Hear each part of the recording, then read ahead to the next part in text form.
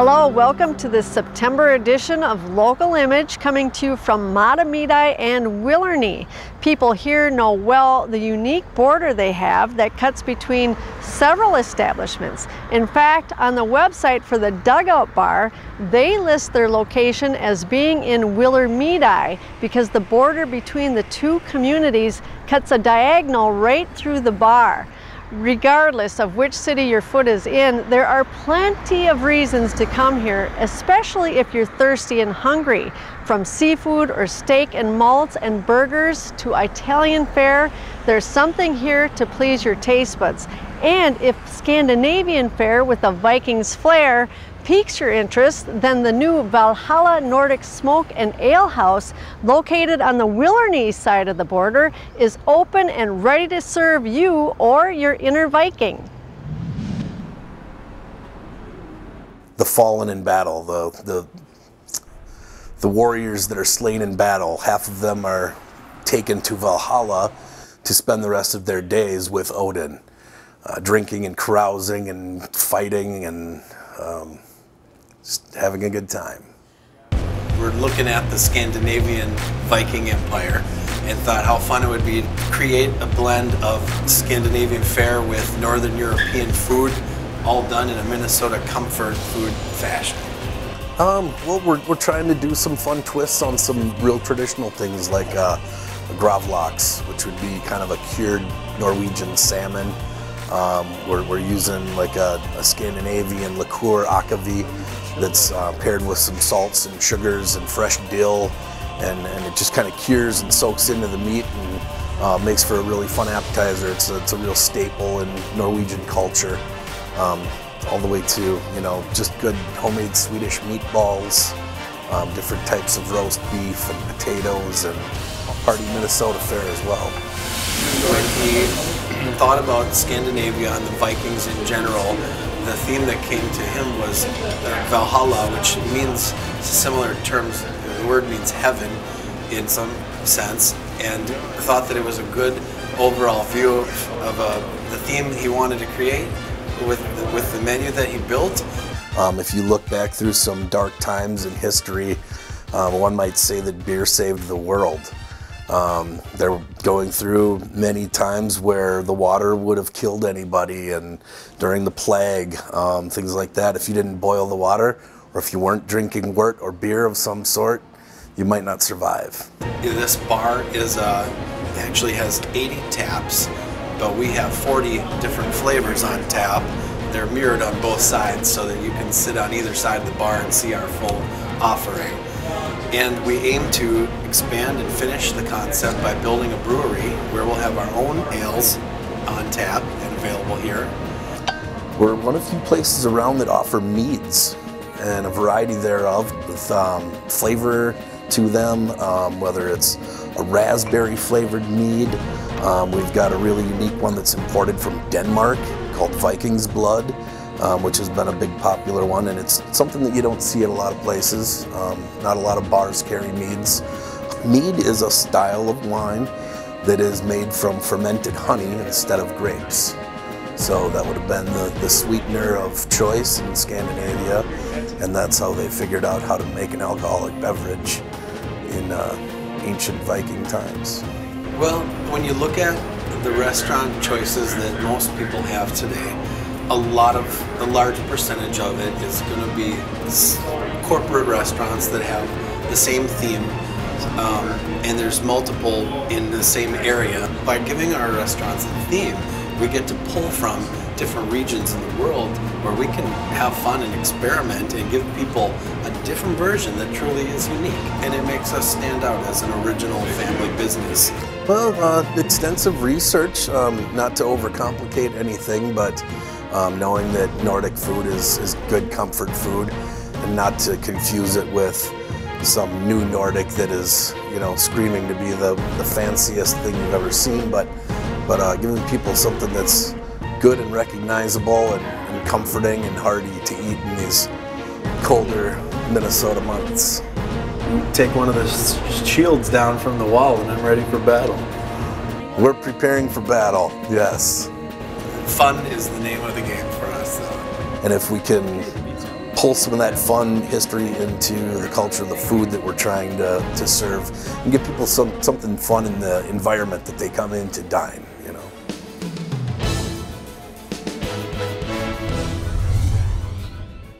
As you know, communities like Mahtomedi and Willernie, which are situated on the southeast side of White Bear Lake, take their water quality and quantity issues very seriously. And so does the Ramsey Washington Metro Watershed District, which is offering homeowners help with water issues through a special grants program, as I learned during this local image interview. We're at the home of Paul Gardner, and I have with me Paige Alberg, who's with the Ramsey Washington Water Metro Watershed District. Yes. Did I get that right? Yes. And we're here today because there's a very special program available to folks, which Paul has taken advantage of, and it regards these beautiful rain gardens, right? Why don't you tell us what you guys have going on at the district Sure. there? Yeah, so we have a BMP incentive program or a cost share program where we work with homeowners in our watershed district to fund water quality projects such as rain gardens or porous pavement parking or driveways and um, basically things like that things that will capture roof runoff street runoff driveway runoff and help clean that before it runs into our water bodies Okay, and so Paul, how long have you had your rain garden here? Well, this is just uh, the first full year that we've had the rain garden, and it was the culmination of a bunch of uh, home projects we had to do, uh, which involved digging up our front yard. And I thought, well, if we're going to do it uh, all the way, let me do some research. and I discovered that the Ramsey Conservation District does some technical assistance, and the Ramsey Washington Metro Watershed District uh, does the financial assistance, the, the partial reimbursement or cost share, to help make this kind of project possible. So this took some of our lawn out of commission. It solved a drainage problem to keep water out of my basement, and it also is taking water right here off the street from the cul-de-sac once we have a curb cut put in, and it'll take water into the, uh, the lower rain garden. Yeah. The water will be sucked up by native plants and uh, keep water out of my basement. Why was that? Uh, obviously, it solved a, a real problem that you were having, but why, on top of that, is it so important to you to to do this kind of a project? Um, it's important to you for many reasons, I imagine. Yeah, it was both economic and environmental. I'm, I consider myself an environmentalist. I've done environmental work for, for work for many years, uh, but I also can use a spreadsheet too. I wanted to make sure that uh, something that we could do that was uh, helping clean up our lakes was also something that we could afford, and that would also uh, add some value to our home and uh, have some return on investment, or at least reduce our risk for future flooding. Right, And right. so it, it paid off in many ways. and why don't you tell us, Paige, how the program works and kind of what the options might be for folks interested? Yeah. So we, as Paul said, we partner with the Ramsey Conservation District in Ramsey County, and we also have a portion of our district in Washington County. So we work with Washington County for technical assistance. So a homeowner can call us, and we'll set them up with either conservation district and their technical designer comes out. We'll do a site visit with the homeowner, talk about any issues like Paul mentioned, flooding in the basement. If they have any issues on site, and how we can help with that, and also how we can help achieve our goals by taking street runoff or you know where the most runoff comes. So we look at what will work for them, whether it be a rain garden or native planting area, and then our technical designer puts a plan together for them, and then the homeowner goes through. We assist with helping them find a contractor that will do the work and do site inspections throughout the process. Um, they can apply for uh, assistance with the funding, which is we cover 50 to 75 percent of the project cost, uh, up to $2,500. So Okay. it's pretty substantial um, assistance for something like this. It's a reimbursement, so the homeowner would pay for the project up front, and then once we sign off on it, then we reimburse them that payment for the project. And so these rain gardens seem to be popping up more and more. Um, it seems like it's becoming a much more successful Mm-hmm. program. How how long ago did this idea start, and how how well has it been going? Yeah, well, our cost share program started in 2006. Uh, some cities had been doing rain gardens. I don't know exactly when they Yeah, started, right. but it's been many years now. Uh, some in Maplewood were put in like early 2000s. So they're getting out there. The word's out there. Um, people, you know, want to minimize the area they have to mow as well as help clean up water. Uh, so we've had, yeah, our program since 2006, and we've helped um, hundreds of residents within our district put these in. Okay. Yeah. Paul, talk a little bit about kind of the maintenance. Has this been more work, less work? What kind of maintenance do you have to do? And and describe what's in your garden here. Sure. Uh, well, I'm no botanist, so I can't tell you the plants. Uh, but um, we uh, have a couple of things going on here. Uh, you know, the, one thing you can't really see from here is that the, the downspouts in the front of the house all feed into the upper rain garden and then go into the lower one. Uh, but it serves a couple of purposes. Uh, it actually reduces a little bit of maintenance because I'm not having to clean out my basement. yes. uh, last uh, spring in April 2014, we had heavy snow melt and then a lot of rain all at the same time. So a lot of people had water in the basement. Our sump pump failed. And then uh, our insurance company said, you know, you need to figure out uh, what the source of your problem is for all this water in the foundation. And so we put in a sump pump with a backup we got wider gutters uh, with a guard on it so no debris was uh, causing sure. cascading water going into the foundation. But with the, uh, the downspouts feeding into the rain garden, that actually saves us a whole lot of trouble. I can, we can go away for a few days and not worry that something is going to go wrong with the drainage. And in fact, since we put this in, uh, there isn't really a whole lot of water that's going into our sump system. There's still some, right? Uh, but it just has reduced uh, the amount of flow that's going in there. So that's definitely positive for maintaining the structural integrity of the house. For maintenance, sure. Uh, we do have to, according to the agreement with the watershed district, in exchange for the partial funding, we do have to maintain the rain garden and make sure that it's uh, free of debris, that the, the soon-to-be made curb cut will be free uh, to still take water into it. Uh, we maintain the plants. We'd like to put in some more native plants to suck up more of the nutrients in the water. So uh, that'll be kind of fun, and my wife really enjoys the part about uh, monitoring and maintaining the plants. Sure. So sure. we were doing some of that anyway. It's just in a little more orderly fashion. Gotcha. And it serves a, uh, a, a water uh, drainage and treatment function at okay. the same time. Well, Paige, is this a good time of year for folks to check into these programs and where can they find more information? Yeah, it is an excellent time of year. We still have funding available. Um, so all the information is on our website. Uh, you can Google Ramsey Washington Metro Watershed District or it's www.rwmwd.org and it's under our BMP incentive program and uh, it's a good time of year to put these projects in. We're still getting a lot of rain. Um, we do a lot of plantings until sure. you know mid-October, so that's Okay. Uh, still good. The plants have a good survival rate. Um, you know, if you plant them in the fall, they'll survive in the winter. We like to use native plants Mhm. um, so they can tolerate our weather conditions. They come back every year too, Yes, then, yes. We? Yep. actually took many plants that we had growing anyway in another raised bed over here and planted them in October, I think it was. Yeah. And they all seem to have survived Nice, nice. Well, Yeah. your rain garden caught all our rain over the last couple of days, which is nice. So, well, thanks for sharing the information, and I'm sure folks will want to check out this program. Lots of options for people, and and uh, love the garden. Very nice. Thank you. Terry and Ann Kellerman own and operate Kellerman's Event Center in downtown White Bear Lake. We featured the opening of Kellerman's three years ago. If you've seen it, then you know how truly unique it is thanks to the craftsmanship of this hard-working duo. Now the Kellerman's creative wheels have turned towards the addition of a craft cocktail lounge inside this very old building. Its unique look is enough to bring you in for a look, but the Kellermans are confident that the craft cocktails will keep you coming back to The Alchemist. Like a lot of uh, fresh cantaloupe with big thin strips of uh, prosciutto. A little salty, a little sweet, you know. I always like to think of the twist like that. It's just like a, a lock of hair. And this one, I just uh, pre-batch a big batch of Negroni. And then we top it with a, uh, a lemon foam. I really don't like mounting fruit on the rim. Boom, there you go. The drinks are just one part of the whole thing, and it's about the whole experience, you know?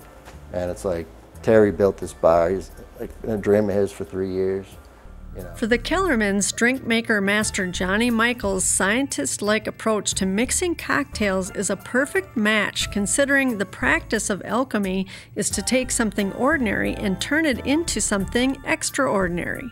Most of the design is, is what I did. Uh, designing it, I mean, obviously we had restrictions because of the old buildings that we're in and working with the 1906 building and the 1922 building and the 19, I don't even know what year that part was built.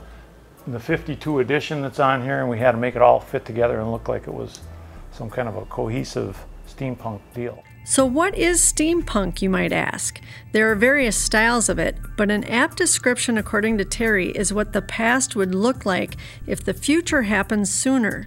Terry's favorite example draws from the film 20,000 Leagues Under the Sea, based on the novel by Jules Verne. Well, it's kind of industrial steampunk, isn't it? Or Industrial touches on it, but steampunk goes a few steps further, off into like Never Never Land. I mean, it's uh, it's fantasy. There's a lot of fantasy and a lot of time travel. There's uh, a lot of other elements to it. we should have the time machine down. We may bring the time machine down eventually. Yeah. The good news is you don't need a time machine to transport you next door into the event center, where brides and grooms alike have been drawn to Terry's handiwork in what's otherwise known as the men's bathroom. I got to go a little crazy with the steampunk. It's on the dark side, but boy, I tell you, the brides go in there. We get we have women go in there all the time, and um, they love it. They they're they're mad because the women's isn't like that. They want it. Helping to keep the brides happy while also keeping the bars stocked and staffed is the job of Kristen Corrigan. So we want to make sure we have everything ready for outside. It's so cool when I'm the bar manager and they come through the back door for a wedding and the guests are like, wow, wow, what an amazing place. And I get the same reaction when I tell people about the Alchemist or show them the Alchemist. But the visions that they have for what this has become, um, not only the event center in three years, I mean, who does that? Who creates a such a successful event center in three years? A short time indeed, but for Johnny, who has a long and respected career in bartending in venues he helped to set up, including La Belle Vie in Minneapolis, the alchemist brought together just the right ingredients to lure him out of the big city and into the suburbs. When I saw what was going on here, I'm like, wow, this is what you hold out for, you know. Um, this this could be really cool, and to have an independent person like put all their chips down, their savings to build.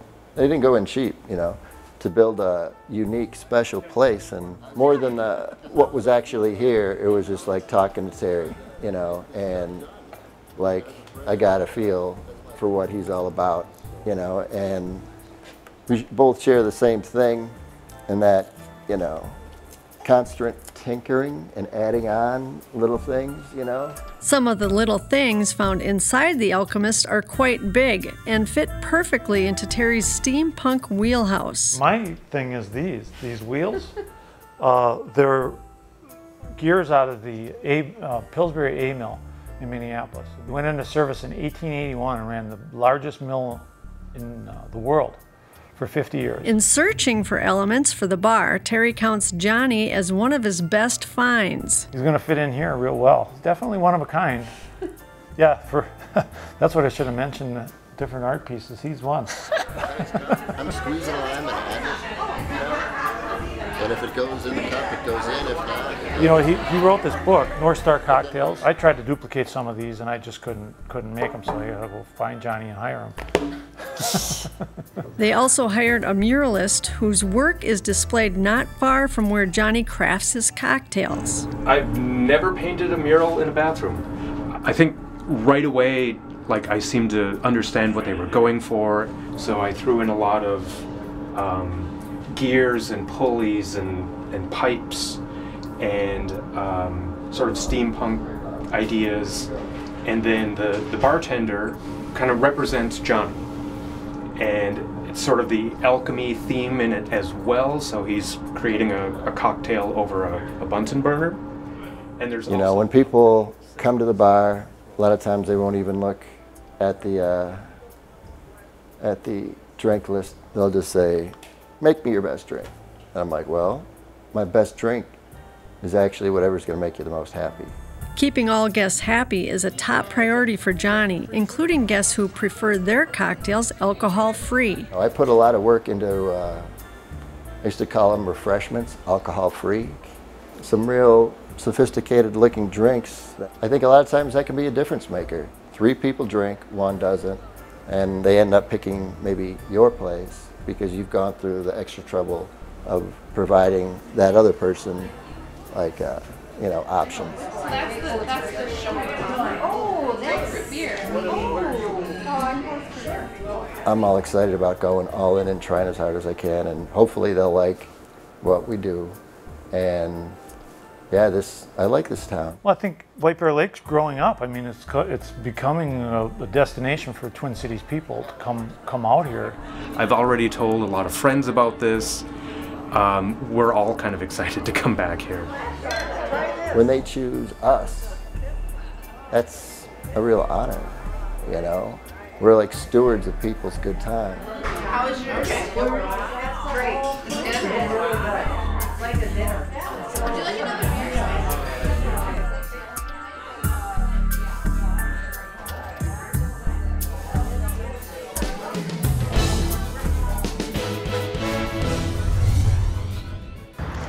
The Alchemist will offer some limited appetizer options to go along with those tasty drinks, and they hope to add live music to the venue in the months ahead. Now, someone who knows how music can move people to do great things has done just that himself. I caught up with Noah Alexander, lead vocals of the Plott Hounds, during a visit to the Minnesota Military Family Tribute on the state capitol grounds for this local image interview. So Noah, um, some of our viewers may remember meeting you about a year ago when your band, the Plott Hounds, was performing for the Cystic Fibrosis Foundation benefit, which was the Breathe Easy Music Festival. Yes. And we're catching up with you again because you just did another benefit, one that you coordinated for a very special cause. Can you tell us about it? It relates to why we're here today at this uh, tribute. Yeah, absolutely. We just uh, just wrapped up the what is now the third annual Country Rock for a Cause, and it was a benefit festival that my wife and I really put together to to support the Minnesota Military Family Foundation. And what does that foundation do uh, for our military families? Yeah, it, it's quite a bit. Um, you know, I think you know everyone's first look is to support the troops and support the soldiers and the veterans, uh, but I don't think many people often automatically associate really the sacrifices that you know their internal families might be making. Um, and when we were looking for a foundation to represent for the Country Rock for a Cause, uh, they really stood out. A, their efficiency on the dollar and what they're able to do with the money they raise, uh, and B, the programs they have in place. Um, it's really based uh, around protecting and, and, making sure the families of our soldiers are, are safe and comfortable in their financial situation, uh, so that our folks who are overseas really don't have anything to worry about back home.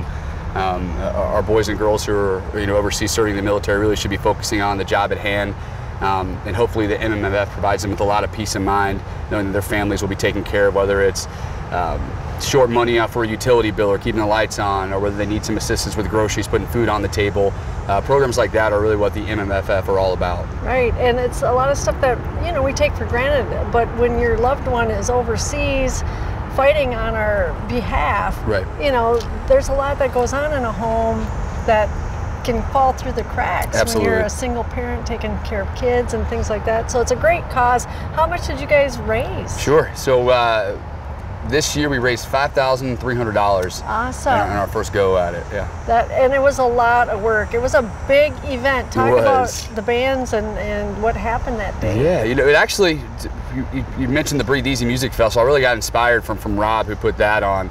Um, this festival really started in our backyard originally, and, instead of really having a, a, housewarming party, we moved into our home. We decided, hey, let's get some buddies, get some beer, and, and, just try to do a fundraiser. And since then, it's obviously evolved. And after playing at the Breathe Easy Festival, I, I kind of saw Rob's vision, what he did with the Cystic Fibrosis Foundation, and and uh, it challenged me to, to continue to grow it and try to make an impact. And so this year, we we found a venue and partnered with the Caboose, um, and lined up 10 bands who all volunteered and donated their time to come and perform and uh, you know really put uh, our best foot forward to really grow the event, spread the message, and uh, get a big turnout and raise some money. And I think we, I think we were pretty successful in it for our first year, moving it from what is a backyard gathering to now a full-fledged music festival. Absolutely, and I mean every time we're friends on Facebook, yep. and every time I'm looking, you're constantly involved in some kind of a charitable event, which is really great. But why? Why? It's a lot of your time. It is. It is. Uh, I feel privileged to be able to do it. That's really the perspective I have.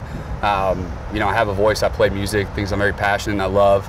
And uh, you know, my wife, my friends are supportive of all my crazy ventures, and, and to be giving back is really what makes it worthwhile. Um, you know, being able to use any talent that I have or any skills I might have to hopefully help out a cause or support others is something that I'm extremely passionate about. And at the end of the day, that's that's really what matters most to me. Yeah, and the best news is, is you're one incredible musician, singer, songwriter. You just came out with a new album. We did. Tell us about that. Yeah, we released uh, a, really our debut record. Um, we did an EP last summer, kind of a short, more of a demo. This time we really went in the studio and, and hammered out a professional record called Living Free, and that was released on July 7th. It's on iTunes and all digital outlets, and you can still get the old-fashioned CDs off our website or at a show. Um, it's something we're really proud about. We wrote everything on the record. Everyone in the band came in the studio and performed on it. Um, and it's uh, it's something I'm very proud about, and the music's Yeah. spreading around, and people seem to be responding to it, and, and we're thrilled. You have, I mean, your band is quite large. There's like seven people Seven, in yeah. it, and you guys really rock it out. It's it's such a great mix. I mean, you got your country sound, you got your rock sound, you got Mm-hmm. Yep. what you know. Describe the flavor, what you're going for with the band. Yeah, Just having fun. Well, definitely, you gotta have fun. If it's not fun, it's not worth doing it. Um, that's that's rule number one. Uh, you know, I grew up in Georgia. Um, my biggest musical influence are bands like Allman Brothers Band, and, and to me, they kind of epitomize that country influence with rock and blues, and even a little bit of uh, a jam band mentality. And we'd really try to capture that, but still putting our own spin on it. Um, you know, we don't want to copy anybody, Right. but we definitely draw heavily on on that type of instrumentation. And uh, it's fun having seven people in a band. Everyone gets their time to shine through, and we play off each other's dynamics, and um, it's it Yeah. surely creates a full sound. Well, I know you've had a very busy summer and, and you'll have a busy fall. Where can people find out more about what when the band, the Plott Hounds, is going to perform and where and Yeah. how they can keep up with you guys? Absolutely. I'd say first and foremost, take a look at on Facebook for us and uh, facebook.com slash the plot hounds, and that's uh, two T's, P L O T T, and then hounds. And then um, you can also go to our website, which is theplotthounds.com. Both of those will have all of our tour dates and information and updates or anything we got going on. Yeah, well, thank you, Noah, for all your hard work and effort on in so many great causes that you've put your effort towards, and we know you're going to do great. Your music is awesome. I've heard you perform. Thank you guys are great, Thank you. and this is a great tribute. This is what you're doing a lot of that hard work for. I mean, these stones have segments from or little sayings from letters that Mm-hmm. are from some of the soldiers over the years, way back in the 1800s to current day. Here's one says, "Happy birthday! We'll send you a telegram from ship when we are due in New York." It just puts some reality into what happens with these families and their loved ones that they, you know, may or may not come back. So, Absolutely. you know, we thank you for your help and uh, look forward to hearing you perform in the near future. I appreciate it. Thank All you, Judy.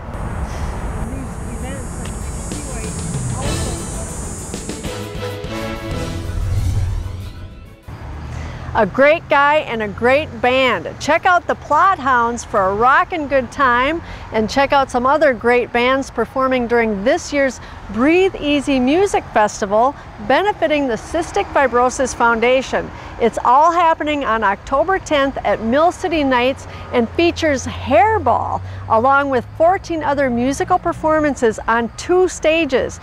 Go to breathetoday.org for tickets and more information. That's all the time we have for today. Join me in October for more great local stories. And as always, I do thank you for watching Local Image.